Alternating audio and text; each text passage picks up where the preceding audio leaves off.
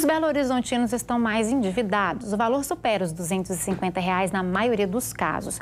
Uma pesquisa da Câmara de Dirigentes Logistas mostrou que as mulheres lideram o ranking da inadimplência na capital.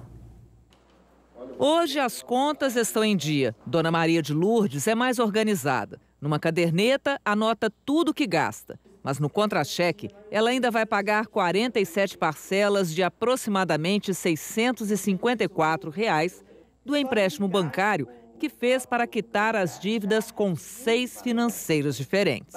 O descontrole, que começou com cartão de crédito e o pagamento de fatura mínima, ficou em mais de 30 mil reais. Só porque eu sou muito consumista, né?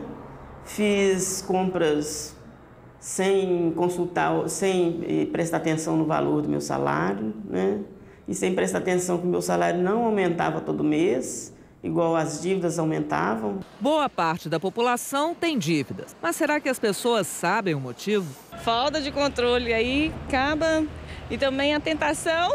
Facilidade que a gente já tem, cartão, muita gente com nome negativado consegue cartão, realmente só vai aumentando a dívida. A Câmara de Dirigentes Logistas divulgou que no primeiro semestre deste ano, o índice de inadimplência aumentou 5,32%.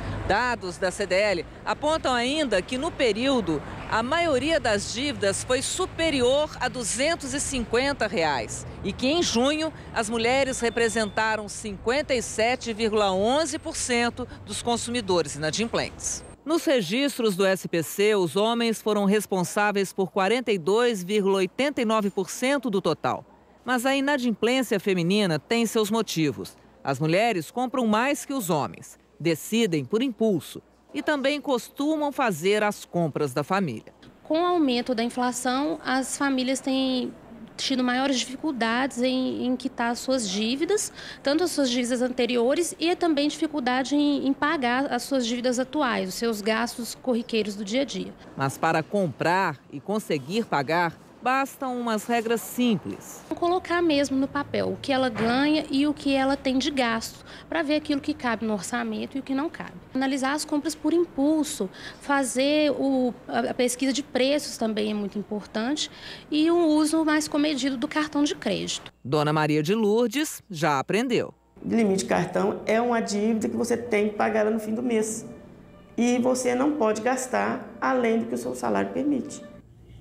E a Operação Volta às Aulas começou em frente às escolas de Belo Horizonte. A ideia é conscientizar pais e alunos sobre as leis de trânsito. No primeiro dia de aula, movimento tranquilo na porta desta escola que fica na região centro-sul de Belo Horizonte. Alguns pais preferiram chegar mais tarde para evitar confusão na hora de deixar os filhos. Porta de escola é realmente uma dor de cabeça constante, né? É. Bom seria que todos os pais tivessem a consciência de pagar regularmente, né? Até o dia 16 de agosto, agentes da BH Trans estarão na porta de 46 escolas de vários bairros de Belo Horizonte. Os pais devem ficar atentos à sinalização para embarcar e desembarcar as crianças. Se o pai não encontrar essa vaga no momento que ele chegar, a gente pede para ele dar uma volta no quarteirão até desocupar uma vaga e ele fazer com segurança essa operação de embarque e desembarque da criança. Bom, e essa regra também vale para as vans escolares, segundo o supervisor da BH Trans. Há 53 anos, Nossa Senhora da Piedade foi nomeada padroeira de Minas Gerais. O santuário dedicado à santa fica a 48 quilômetros de BH e recebe hoje uma celebração especial. Durante a solenidade está prevista a assinatura de convênios para a revitalização do conjunto arquitetônico e paisagístico do santuário. O governo do estado também deve iniciar a segunda etapa das obras do caminho religioso Crer. A 1.746 metros de altitude, o local é conhecido como ponto de turismo. Por ele, passam cerca de 150 mil visitantes e peregrinos por ano. Bom, o jubileu de Nossa Senhora da Piedade é celebrado anualmente e a programação vai até outubro.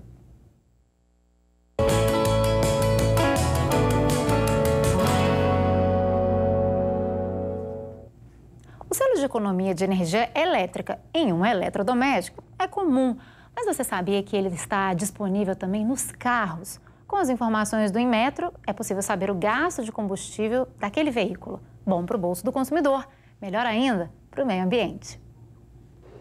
Beleza, conforto, potência do motor. Na hora de comprar o carro zero quilômetro, você se preocupa também com a economia de combustível? Não. Acredita que não? Eu só olho se ele é potente, você acredita? Além de comprar, você tem que ter a manutenção e os, os gastos. Na realidade, você tem que fazer esse cálculo aí para adquirir o veículo, né? economia entre modelos diferentes de uma mesma marca pode chegar a R$ 1.600 em 12 meses. Em cinco anos, isso representa 40% do valor de um automóvel popular avaliado em 20 mil reais. Até o final deste ano, o Imetro pretende exibir em 327 tipos de carros zero um selo para mostrar ao consumidor o quanto ele vai gastar com etanol ou gasolina. Ele é uma informação para quem vai adquirir. Como no caso das geladeiras, é uma informação de quanto ela consome de energia elétrica. O carro informa quanto consome em termos de combustível, né? Nesta concessionária, três modelos de veículos que custam acima de 40 mil reais já vêm com um selo. É fácil entender as informações. A escala vai da letra A até a E. Quanto mais perto da letra A, menor o gasto. Mas isso só vale quando o motorista faz a manutenção adequada do carro. A classificação já é um diferencial na hora da venda. O cliente ele dá muito valor para isso hoje. Ele já vem, olha, é, dependendo de como é que está a, a, a, a, classificação daquele automóvel, ele pode sim decidir pela compra ou não daquele veículo. E economia é um critério que este representante comercial não dispensa. A gasolina hoje pesa em 30% no final do uso do veículo.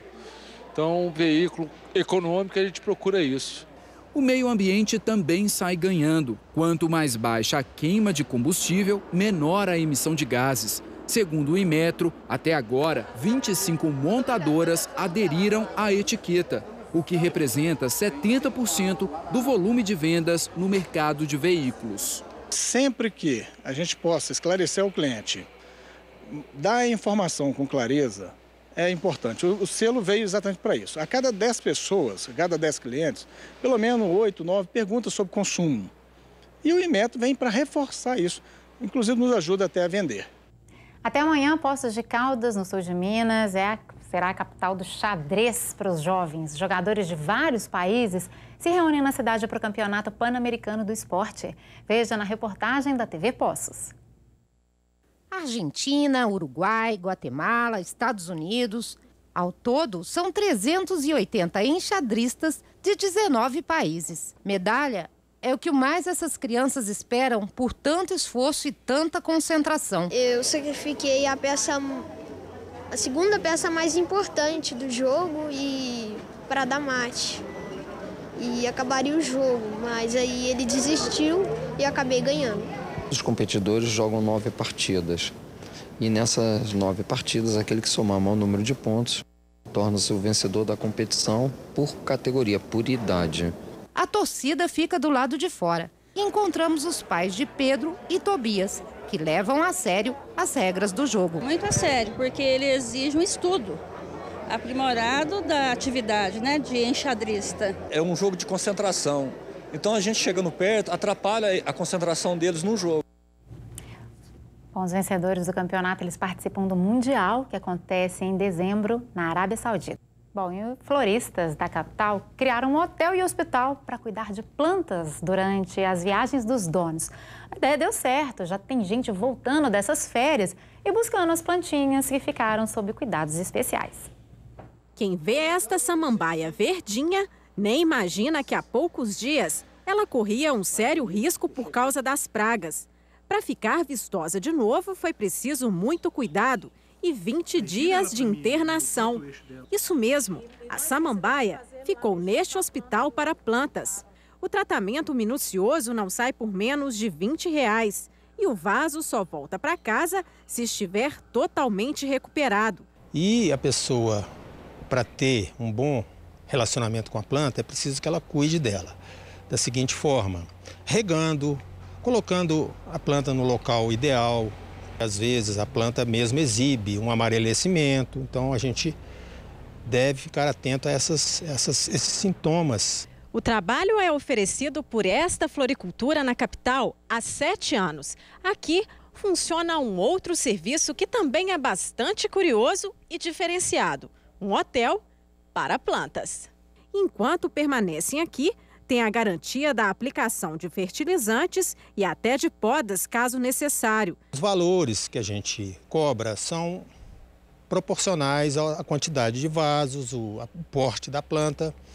Pode variar de R$ reais, que seria uma violeta, que eu cobraria por uma semana esse valor, até 200 reais por mês por uma planta ou um conjunto de plantas maiores. Olha só a reação dos donos ao receberem a samambaia de volta. Bom dia! Bom dia, Júlio. Bom dia. Olha a nossa samambaia voltando. Tava feinha. Tô vendo que você tá feliz. Eu tô, ficou linda. O conhecimento que o profissional tem faz com que nós possamos se dispor de um final de semana prolongado ou umas férias, a gente possa deixar com alguém que conhece muito, que tem esse carinho da forma como a gente tem com os animais, com as plantas, e é recompensador que a gente chega, elas estão todas verdinhas, todas lindas. Isso é muito bom.